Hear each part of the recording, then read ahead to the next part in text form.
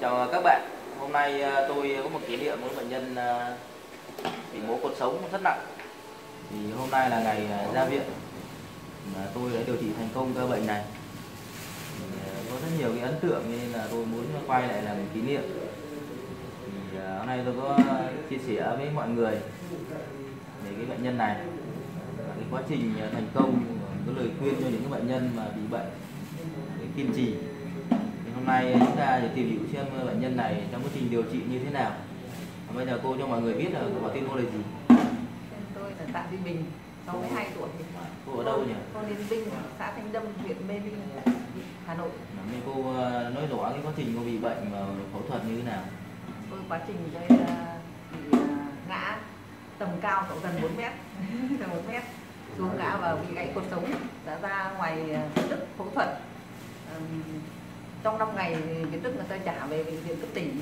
Tôi nằm cấp tỉnh gần một tháng.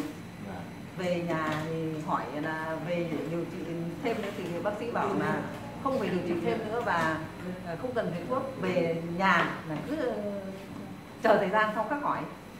Đấy thì tôi tôi về tôi chờ thời gian là tôi nằm ở nhà coi một tháng hai tháng lại ra việt đức khám lại.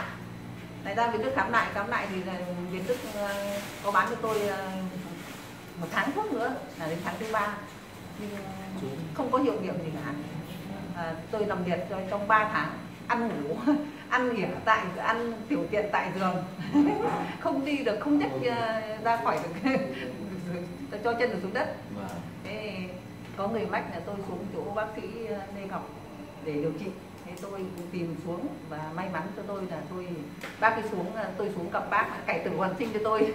Được hoàn chỉnh đến ờ, đến hôm nay là hoàn chỉnh. Tôi xuất viện trở về nhà vui vẻ không có gì. Và tôi đã chạy đây rồi. Vâng. Bây giờ bà cho mọi người xem cái, cái, cái, cái, cái lưng một tí. À, mà quay đứng lên cho mọi người xem. Đây. Đây là đường ờ, cột sống. Khi mà chúng ta bị ngã mà từ đốt sống ờ, đi đi 7 đi 8 đến L34 là rất là nặng. Thì bây giờ bệnh cô đi một đoạn cho mọi người xem bỏ ra chứ. Cô cứ đi bình thường. Đấy là đi tốt rồi đấy. Thế là rất là chúc mừng ông bà. Ông là người rất là tuyệt vời. Đây Chăm bà là tốt tình yêu của bà đây. Đây có một- đây.